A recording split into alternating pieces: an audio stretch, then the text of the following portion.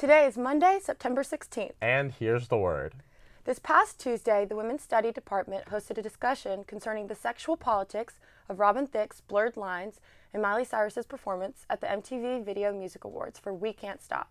Professor Gabriel Rosenberg and Professor Claire Cunahan gave presentations on the topic from a wide range of perspectives, including Cyrus's racialization of the African body and Thicke's use of parody. When we see a display like the VMAs or we see any of these videos, our, our sense is that we should judge, sort of jump to judge uh, the sexual ethos on display without considering, for example, the multinational corporations and the large technological infrastructure that is embedded within society that brings these visions to us and in some ways is profiting from fantastical visions that are being produced.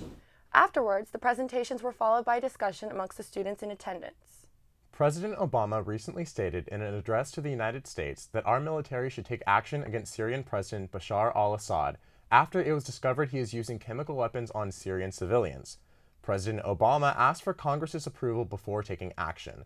We asked Duke students what they thought about the crisis in Syria. I do think it was politically smart for Obama to go to Congress to ask for authorization, even though he technically doesn't need to under the War Powers Act. But I think in this political context and with this many lives on the line, it was the smart decision to go to Congress. I think obviously all eyes are on Geneva, all eyes are on whether we can come up with a peaceful resolution to this conflict. But I think there's a big risk in giving up our leadership in this situation to a country like Russia that's sort of calling out our exceptionalism and treating our leadership on the issue as a negative. Last week, Duke had two incredible speakers visit to address the students. The first was Dr. Rajiv Shah, an administrator for U.S. Agency for International Development, also known as USAID. He spoke about his vision of leadership through the development of innovation economy.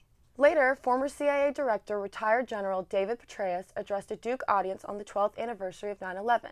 He covered topics like the Syrian war, democracy in the Middle East, and the balancing of security and civil liberties. Thank you both for taking the time to speak to Duke students. Doris Duke's Shangri-La exhibit is currently featured at the Nasher Museum of Art until December 29th. The exhibit features pieces from, and photographs from Doris Duke's five-acre estate in Honolulu, Hawaii, in which she held one of the nation's largest collections of Islamic art. In the exhibit, you can see examples of the architecture of the estate, the landscape of her Hawaiian home, and the Islamic art she had collected. Check it out. Lastly, Duke rose to seventh place in the U.S. News and World Report annual rankings of national university offering doctoral degrees.